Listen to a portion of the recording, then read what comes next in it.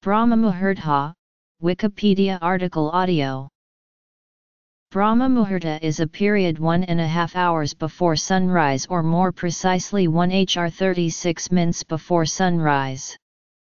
Literally meaning the creator's hour, it is traditionally the last phase or muhurta of the night and is considered an auspicious time for all practices of yoga and most appropriate for meditation, worship, or any other religious practice.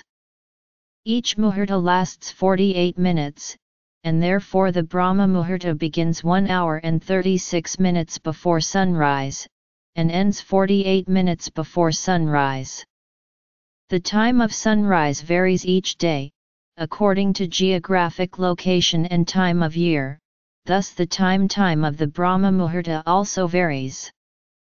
For example, if sunrise is at 6 am, the Brahma Muhurta begins at 4.24 am.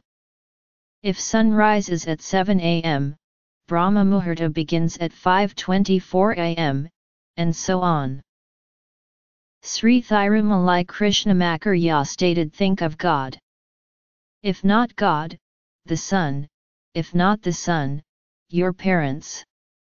STK identified himself with Vaishnavism, as did Ananta, under the guidance of Shiva, who is the first yogi. A modern yogi would then show reverence to the sun.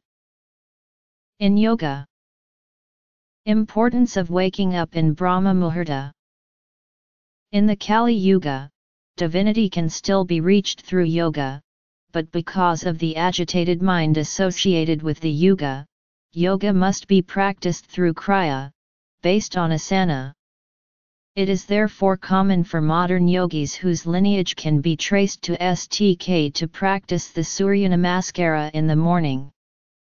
The sun salutation can be used in ritual cleansing practice that uses the mind states associated with Vata in Ayurveda. These mind states are mentioned in Patanjali's Yoga Sutras. These qualities are nearer to the divine, as they pertain to stillness of the mind, which allows for the spirit to shine. It's because of the inherently stiller state of mind in Brahma Muhurta, that meditative states can be more easily achieved. Ayurveda states that there are three doshas found in the human physical body, called Vata, Pitta, and Kapha. The increase or decrease of these three doshas is related to the cycles of time.